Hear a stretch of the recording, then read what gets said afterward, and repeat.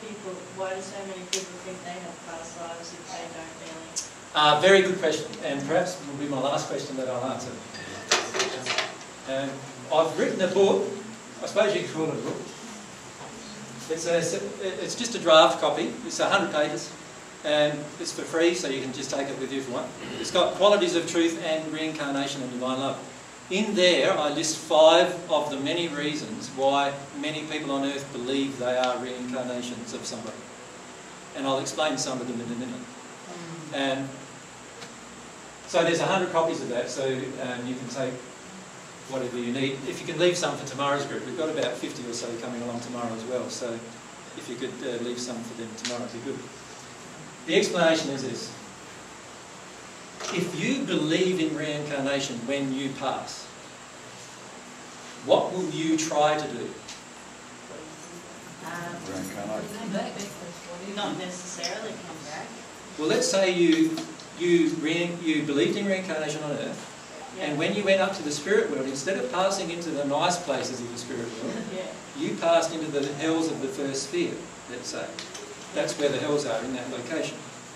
So let's say your surroundings were all dark and dingy and smelly and uncomfortable. What would you want to do? go up higher. Uh, well, mo- most of them don't even know what's up higher. They want to go back down in most cases because they don't know there's anything above them. Right? So what they do is they try to connect to another person who's already on earth. And what they try to do is influence that person as much as they possibly can and to remain in connection with them. And the way they do that is by feeding the person images and thoughts and memories of their own life. And when they do that, the person's going to start believing that they had those experiences. Won't they? And once you believe something, you now have that attraction between yourself and the spirit. Now, as soon as you develop that attraction with the spirit, that spirit now has the ability to utilize your body depending on how much you want them to utilize it. Now, this happens all the time with uh, people who uh, heavy drinkers, for example. So, people, who of you have drunk to the point of oblivion? Yeah. That's what they call it spirits.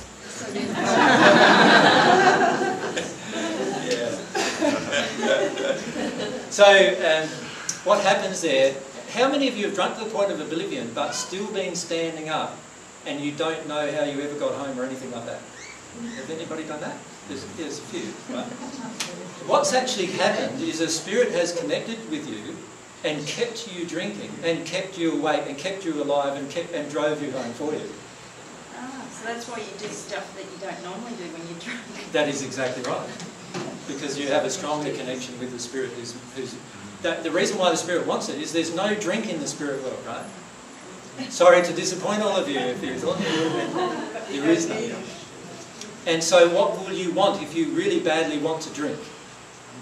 You are going to want to get drink from earth because you know that's where you can get it. Now, this is just one of the explanations that I've explained in, in the, the book about why people believe in reincarnation. There are actually people on the natural love path in the sixth sphere who believe in reincarnation as well.